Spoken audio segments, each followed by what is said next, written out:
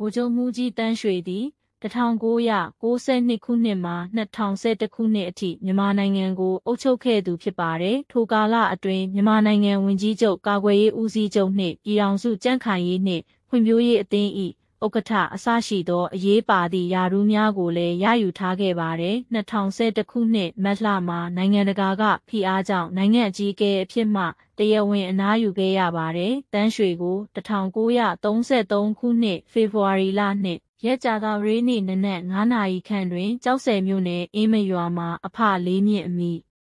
စိတ်ရင်တို့ကနေမွေးဖွားပါတယ်ငယ်စဉ်တုန်းက ကျောက်ဆယ်မြို့မှာစတင်ပညာသင်ကြားပြီး1952ခုနှစ်အသက်18နှစ်၌အင်္ဂလိပ်မြန်မာတဝရန်အထိပညာသင်ကြားခဲ့သည်တဝရန်စာမေးပွဲအောင်မအောင်ကိုအတိအကျမသိရတော့လဲမဆလပါတီဗဟိုကော်မတီလောင်းကိုရေးမှတ်တမ်းအကျဉ်း၌တဝရန်အောင်ဟုဖော်ပြထားပါတယ်တပတ်မှာလဲပညာရေးဟာလေးတန်းပဲအောင်တယ်လို့လဲပြောကြတာတွေရှိပါတယ်အဲနောက်မှာတော့1952ခုနှစ်မိထီလာမြို့ရှိစာတိုက်၌တနှစ်ခန့်စာတိုက်စာရေး ဝင်ရောက်လုပ်ကင်ခဲ့ပါတယ်1953ခုနှစ်မှာတက်မတော်အရာရှိလေ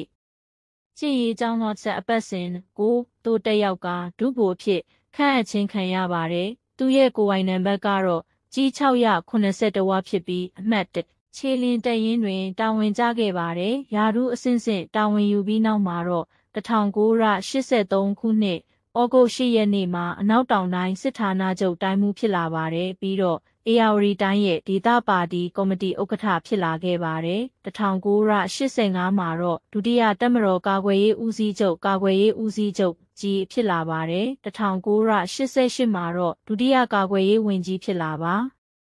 တယ် 8008ရ88အရေးခင်းနောက်ပိုင်း1988ခုနှစ်စက်တင်ဘာ18တွင်စစ်တပ်ကအာဏာသိမ်းပြီးနောက်မှာဗိုလ်ချုပ်ကြီးစောမောင်ဦးဆောင်တဲ့နိုင်ငံတော်ငြိမ်ဝှက်ပြပြမှုတိဆောက်ရေးအဖွဲ့မှဒုတိယဥက္ကဋ္ဌဖြစ်လာခဲ့ပါတယ်1992ခုနှစ်မှာသူ့ထက်လူကြီးဖြစ်တဲ့ဗိုလ်ချုပ်မှုကြီးစောမောင်ကိုကျမ်းမာရေးကြောင်းဟုဆိုပြီး ဦးစောမောင်စီကအာဏာကိုသိမ်းလိုက်ပြန်ပါတယ်။ဦးစောမောင်နေရာဝင်ပြီးနိုင်ငံတော်ငြိမ်ဝှက်ပြပြမှုတိဆောက်ရေးအဖွဲ့ဥက္ကဋ္ဌနိုင်ငံတော်အကြီးအကဲနိုင်ငံတော်ဝန်ကြီးချုပ်နှင့်တက်မတော်ကာကွယ်ရေးဦးစီးချုပ်ဖြစ်အစားထိုးနေရယူခဲ့တာသူရာရူးကနှုတ်ထွက်ပေးရတဲ့နှစ်1011ခုနှစ်ထိပါပဲသူရဲ့နိုင်ငံရေးလှုပ်ရှားမှုအနေနဲ့အရှိတောင်အာရှနိုင်ငံများအသင်းအာဆီယံတို့မြန်မာနိုင်ငံဝင်ရောက်ရေးကိုအောင်မြင်စွာလုပ်နိုင်ခဲ့ပါတယ် သူနဲ့သူ့မိသားစုကိုယ်တိုင်နိုင်ငံရေးခြစားမှုတွေကိုလုပ်ပေမဲ့1998ခုနှစ်မှာသူ့ထက်စီနီယာကြတဲ့ဝင်ကြီးအချို့ကိုခြစားမှုနဲ့ပဲအရေးယူခဲ့သည်2008ဖွဲ့စည်းပုံအခြေခံဥပဒေတစ်ကို1993ခုနှစ်ဇန်နဝါရီ9ရက်နေ့မှ2009ခုနှစ်စက်တင်ဘာ3ရက်နေ့အထိ14နှစ်နှင့်8လကြာရေးဆွဲစေခဲ့ပါသေးတယ်သတင်းလို့ လက်ခွင့်ကိုလည်းချုပ်ချယ်ပြီးအစိုးရအားစန့်ကျင်ရေးသားသည့်စာနယ်ဇင်းသမားများအားထိမ့်သိမ်းတာကိုမြတ်တာတွေကိုကြီးကြပ်ခဲ့သည့်2009ခုနှစ်ရွှေဝါရောင်တော်လန်ရေးမှာဗုဒ္ဓဘာသာယဟန်တော်အများပြားကိုဖမ်းဆီးတာတပ်ဖြတ်တာတွေသူလုပ်ခဲ့ပါသေးတယ်။မြန်မာနိုင်ငံဒီမိုကရေစီလမ်းကြောင်းပေါ်ရောက်ရှိရေးမှာတော့အဓိကတားဆီးအဖြစ်သူ့ကိုမြင်ကြပါတယ်။သတင်းဌာနများအားဓာတ်ရိုက်စကားပြောခြင်းလဲတခါမှမလုပ်ခဲ့ပါဘူး။ 2004ခုနှစ်မှာဝင်ကြီးချုပ်ဗိုလ်ချုပ်ကြီးခင်ညွန့်အားဖြုတ်ချသည့်ကိစ္စတွင်လည်းသူပါဝင်ခဲ့ပါတယ်။ထိုကိစ္စအပြီးသူ၏အာဏာမှာပုံမခိုင်မြဲလာပါတယ်။2008ခုနှစ်မေလအစောပိုင်းတွင်နာဂစ်မုံတိုင်းမြန်မာနိုင်ငံသို့ဝင်ရောက်တိုက်ခတ်ပြီးချိန်တွင်နိုင်ငံတကာအကူအညီများဝင်ရောက်ခွင့်ကိုညှင်းပယ်ခဲ့သည်။မုံတိုင်းမတိုက်ခင်မှာလည်းဘာမှပြင်ဆင်မှုကို